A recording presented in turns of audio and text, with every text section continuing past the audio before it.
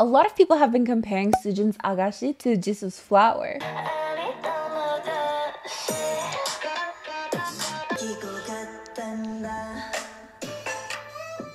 You know, they're definitely both very red. but actually, every time I listen to Soojin's Agassy, I think of ATEEZ's Wave.